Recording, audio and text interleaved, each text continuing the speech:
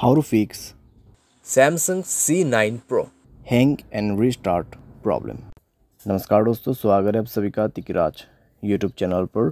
तो दोस्तों आज की इस वीडियो पर मैं आपको बताऊँगा कि कैसे आप जो है अपने सैमसंग के डिवाइस पर हैंग और रिस्टार्ट प्रॉब्लम सॉल्व कैसे कर सकते हैं।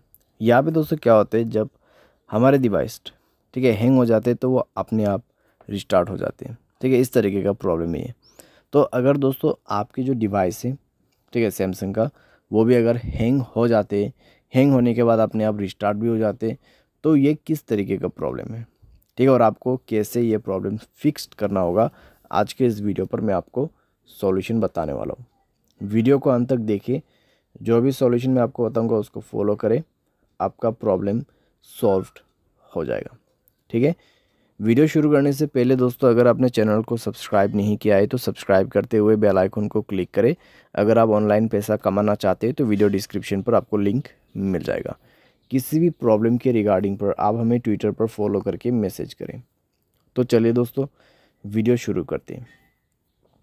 तो यहाँ पर दोस्तों जो हैंग एंड रिस्टार्ट प्रॉब्लम है, ठीक है? तो उसको फिक्स करने के लिए आपको सबसे पहले तो स्टोरेज में से क्लीन अप करना होगा। स्टोरेज को क्लीन कीजिए और मोबाइल पे कई सारे एप्लीकेशन है तो उसको डिलीट कीजिए, ठीक है? बहुत बड़ा एप्लीकेशन आप यूज़ करते हैं तो उसका डेटा को क्लियर करके यूज़ कीजिए। इससे आपका जो रैम है वो खाली होगा, ठीक है? और कोई भी दोस्तों एप्लीकेशन जो कि बैड एप्लीकेशंस होगा, उनको भी डिलीट कर दीजिएगा। बैड एप्लीकेशन जैसे कि कोई अननोन वेबसाइट से इंस्टॉल किया हुआ एप्लीकेशन, ठीक है?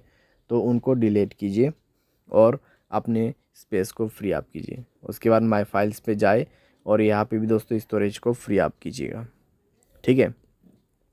जब स्टोरेज आपका forty to thirty percent empty हो जाएगा, तब आप अपने मोबाइल सॉफ्टवेयर को अपडेट करेंगे। ठीक है? मोबाइल सॉफ्टवेयर को अपडेट करेंगे। मोबाइल सॉफ्टवेयर अपडेट होने के साथ ही साथ आपका प्रॉब्लम सॉल्व हो जाएगा। ठीक है? तो हैंग और रिस्टार्ट का जो इशू है, आप इसी तरीके से फिक्स कर सकते हैं। तो ये सॉल्यूशन को आप फॉलो करके देखिए। प्रॉब्लम सॉल्व हो जाना चाहिए। अगर सॉल्व हो जाता है तो अच्छी बात है। अगर इसके बाद भी प्रॉब्लम आते हैं तो आपको जाना है general management reset and then factory data reset ठीक है? फैक्ट्री डेटा रीसेट पे जाके आपको डायरेक्टली मोबाइल रीसेट कर देना है। जैसे रीसेट करोगे, आपका प्रॉब्लम सॉल्व हो जाएगा। तो इस तरीके से दोस्तों, आप अपने हैंग एंड रिस्टार्ट प्रॉब्लम को फिक्स कर सकते हैं। तो जितना भी मैंने आपको सॉल्यूशन बताया दोस्तों, उसी को फॉलो कीजिएगा तो आपका प्रॉब्लम सॉल्व हो जाएगा, आपको कोई भी दिक्कतें बाद में नहीं होगा। ठीक है? तो जो पॉसिबल सॉल्यूशन था, मैंने आपको वही बताए तो आप भी उसी को फॉलो कर लेना। उम्मीद करते हैं आपको ये वीडियो पसंद आया होगा। Thanks for watching